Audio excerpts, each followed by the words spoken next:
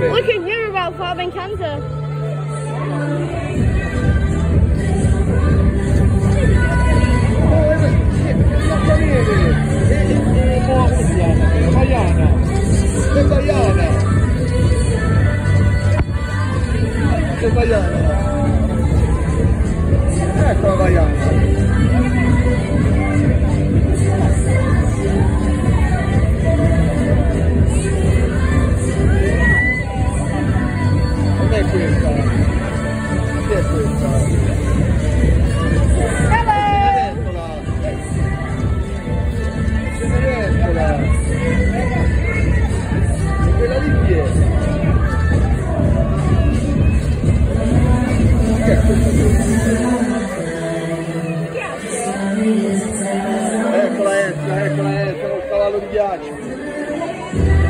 E qui, sai,